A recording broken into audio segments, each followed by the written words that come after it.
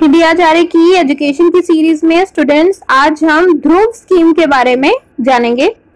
तो बच्चों, ये जो ध्रुव स्कीम है, ये एक्चुअली प्रधानमंत्री जी ने आरंभ की थी। कब आरंभ की थी? अक्टूबर 2019 में मोदी जी द्वारा ये आरंभ की गई स्कीम है।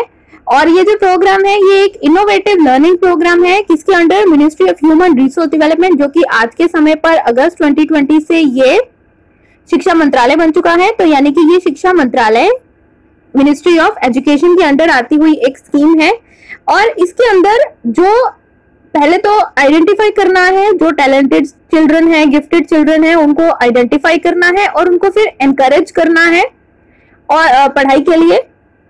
और ये जो चिल्ड्रन है, उनको किस तरह से आइडेंटिफाई किया जाएगा? जो रिनोन्ड एक्सपर्ट्स हैं किसी भी फ़ील्ड के, उन, उनके द्वारा उनको आइडेंटिफाई किया जाएगा कि किस बच्चे को कितनी नॉलेज है, किस बच्चे का दिमाग कितना तेज है, जो भी अच्छे पढ़ने वाले बच्चे हैं, उनको आइडेंटिफाई करना ही इस स्कीम का मेन उद्देश्य है। और ये जो स्कीम है, ये एक्चुअली साइंस और आर्ट्स एरिया के अंडर है। और सिक्सटी स्टूडेंट्स एवरी ईयर इसमें चुने जाते हैं नौवीं से बारहवीं कक्षा के लिए। और इसका नाम ध्रुव इस इसलिए रखा गया क्योंकि जैसे ध्रुव महाराज थे, एक बहुत सतयुग के समय की जो बात है, वो बहुत ही बहुत ही अच्छे बच्चे थे, लेकिन उनके पिता ने उनकी वैल्यू नहीं समझी, फिर वो भगवान की आराधना करते हैं। तो उसके बाद भगवान ही उनको वापस फिर राजा भी बनाते हैं। जब वो वापस आते हैं, तब सब उनके जो घर वाले हैं, सब उनको प्यार करते हैं।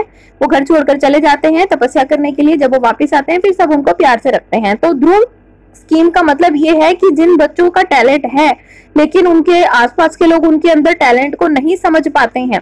उनके टैलेंट को जानना उनके टैलेंट की, की पहचान करना ये गवर्नमेंट का उद्देश्य है और फिर उन बच्चों को आगे पढ़ाई में प्रेरित करना इसके अंडर इस स्कीम के अंडर आता है। धन्यवाद।